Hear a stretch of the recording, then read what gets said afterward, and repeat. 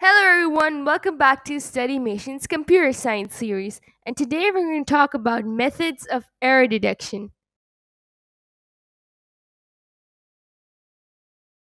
Why is there a need to check for errors?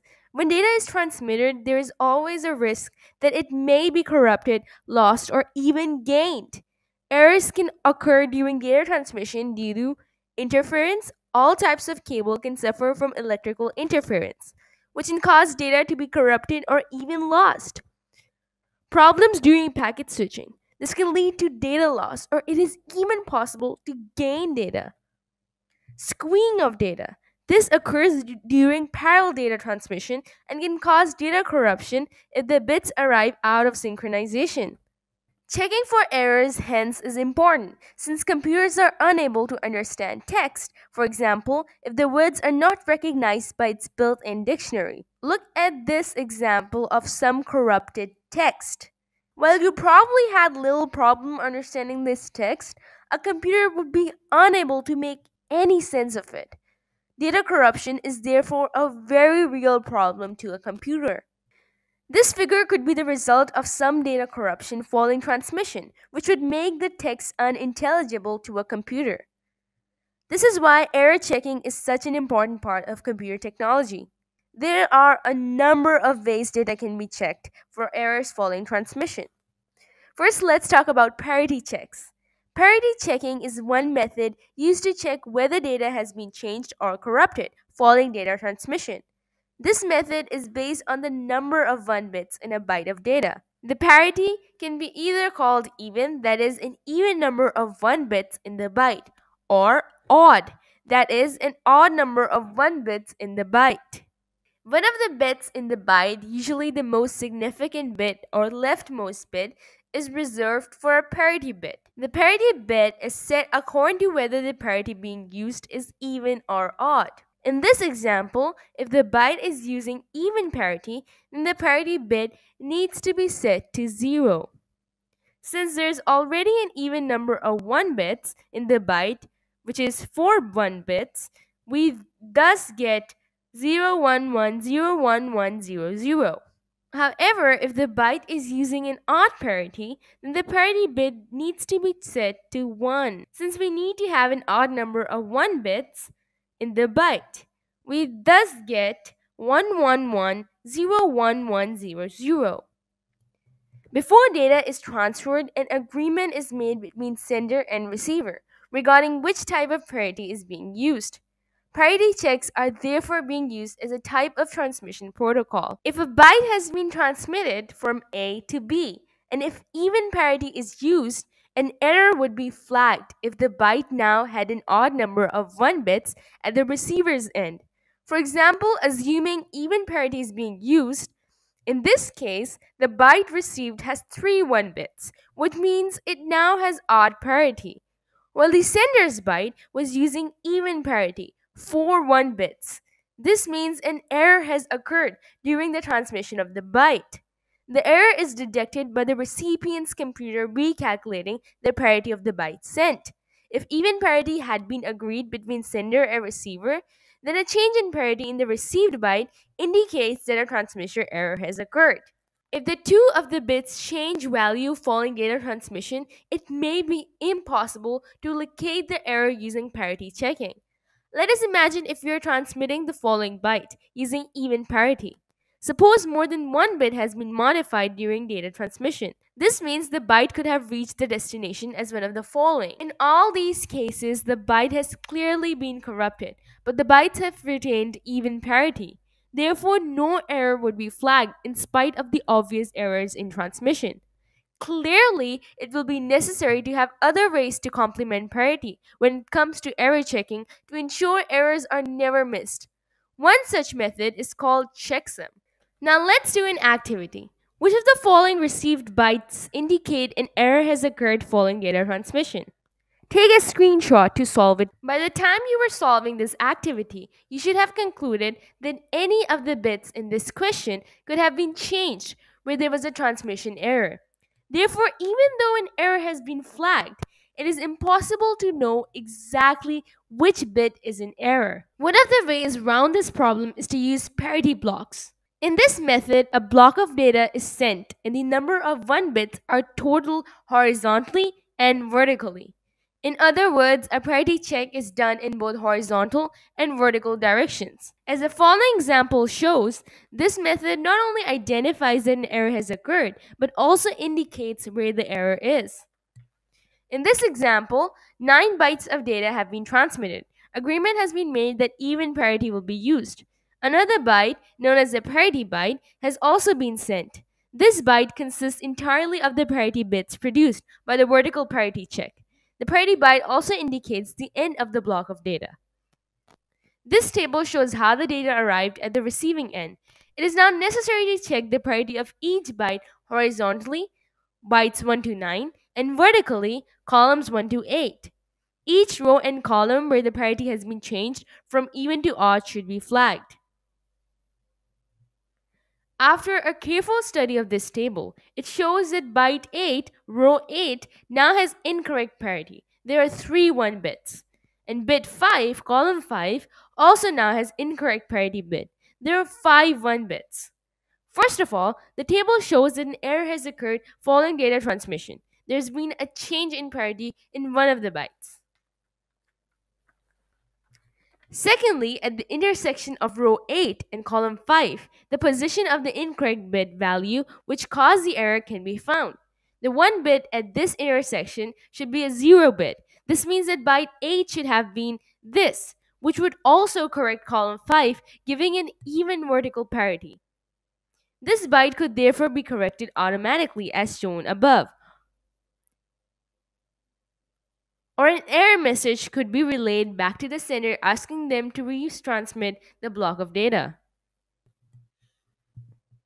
Now let's talk about checksum. A checksum is a method used to check if data has been changed or corrupted following data transmission. Data is sent in blocks, and an additional value called a checksum is sent at the end of the block of data. The checksum process is as follows. When a block of data is about to be transmitted, the checksum is calculated from the block of data. The calculation is done using an agreed algorithm. This algorithm has been agreed by sender and receiver. The checksum is then transmitted with block of data.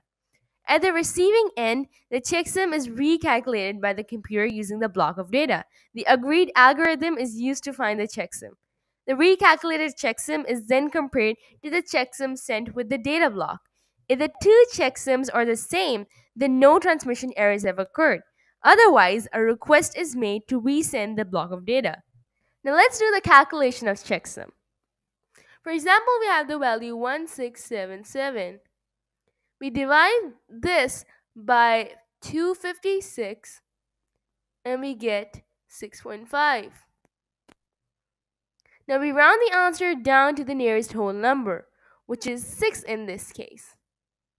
Now we multiply this number by 256 and we get the answer 1536. We subtract this by the original number and we get the answer 141. This number is the checksum calculated for the number 1677. Now let's talk about echo check. With echo check, when data is sent to another device, this data is sent back again to the sender. The sender's computer compares the two sets of data to check if any errors occurred during the transmission process. As you will have no doubt worked out, this isn't very reliable. If the two sets of data are different, it isn't known whether the error occurred when sending the data in the first place or if the error occurred when sending the data back for checking. However, if no errors occurred, then it is another way to check that the data has been transmitted correctly. In summary, look at this echo check diagram. A copy of data is sent back to the sender. The return data is compared with the original data by the sender's computer. If there are no differences, then the data was sent without error. If the two sets of data are different, then an error occurred at some stage during the data transmission. Now let's talk about check digits. A check digit is the final digit included in a code. It is calculated from all the other digits in the code. Check digits are used for barcodes on products such as International Standard Book Numbers, ISBN, and vehicle identification numbers. VIN. Check digits are used to identify errors in data entry caused by mistyping or misscanning a barcode. They can usually detect the following types of error. An incorrect digit entered, for example, 5327 entered instead of 5307. Transposition errors where two numbers have changed order, for example, 5037 instead of 5307 omitted or extra digits, for example, 537 instead of 5307 or 53107 instead of 5307. Phonetic errors, for example, 13 instead of 30. Here's a sample barcode with a check digit. There are a number of different methods used to generate a check digit. Two common methods will be considered here, ISBN 13 and modulo 11. First, let's talk about ISBN 13 method. The check digit in ISBN 13 is the 13th digit in the number. We will now consider two different calculations. The first calculation is the generation of the check digit. The second calculation is a verification of the check digit, that is, a recalculation. We will use the same ISBN as in the figure earlier. First, we will add all the odd digits. Over here, we're not going to consider 9 as odd and 8 as even. Instead, we're going to consider these as the odd numbers. The first digit is going to be the odd number and then the and then we're going to skip the next digit and consider the other digit as the odd number. So in this case, we have 9, 8, 3, 0, 8, and 8 as the odd numbers. And the rest, the 7, 0, 4, 9, 3, and 2 are the even numbers. So first we're going to add all the odd digits. So we're going to add 9, 8, 3, 0, 8, 8, which will result in 36. Then we will add all the even numbers together. We have 7, 0, 4, 9, 3, 2. This will result in 25. Now we will multiply the result by 3, which would give us 75. Now we would add these results together, which is 36 and 75, which will result in 111. Now we would divide the result by 10, which would give us the answer 11 and a remainder 1. We take the remainder. If it is 0, then use this value. Otherwise, subtract the remainder from 10 to find the check digit. Since we have the remainder 1, we would subtract it by 10, which would give us the answer 9. And this is the check digit. If the remainder was 0, we would not subtract it from 10. Now let's do the recalculation of the following data. In this case, what we would do is we would add all the odd number digits together, including the check digit. So this time we need to add the check digit. We got the answer 9. So what we simply can do, let's make it simple. So we're going to add 36, 75, and 9. So let's make it simple. And we're going to add 111 and 9, which will result in the answer 120. Now we will divide 120 by 10, and if our remainder is 0, then the answer 9 is correct. And since our remainder is 0, therefore number 9 is correct. So the check digit 9 is correct. Now let's do calculation from the modulo 11 algorithm. The modulo 11 method can have varying lengths of number which makes it suitable for many applications, such as product codes or vehicle identification numbers.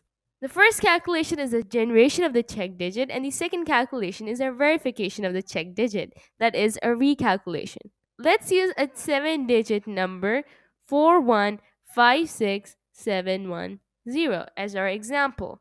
We would right now write x as a variable to represent the check digit. Now we would start numbering the data from the right hand side. So we have 1, 2, 3, 4, 5, 6, 7, and, and 8.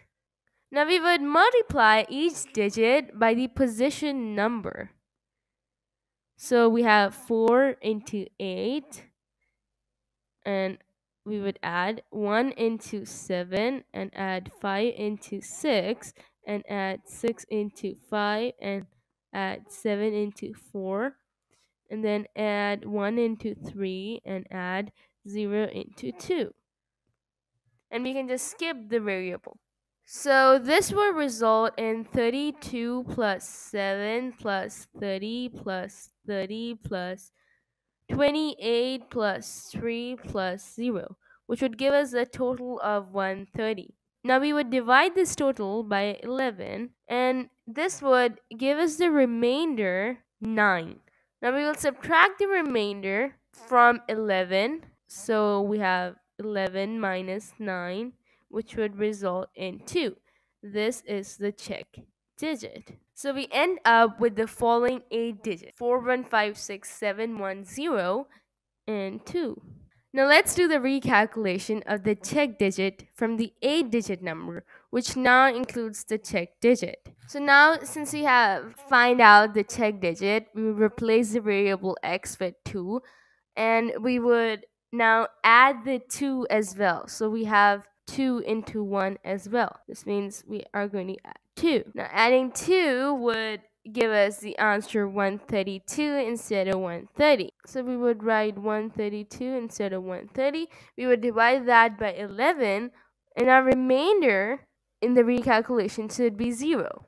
The remainder 0 indicates that the number 2, which is a check digit, is correct. Now let's talk about automatic repeat requests or simply ARQs. An automatic repeat request is another way used to check data following data transmission. This method can best be summarized as follows. ARQ uses positive and negative acknowledgments, messages sent to the receiver indicating that the data has or has not been received correctly. And timeout this is a time interval allowed to elapse before an acknowledgement is received. The receiving device receives an error detection code as part of the data transmission. This is typically a cyclic redundancy check. This is used to detect whether the received data contains any transmission errors. If no error is detected, a positive acknowledgement is sent back to the sending device. However, if an error is detected, the receiving device now sends a negative acknowledgement to the sending device and requests retransmission of the data. A timeout is used by the sending device by waiting a predetermined amount of time.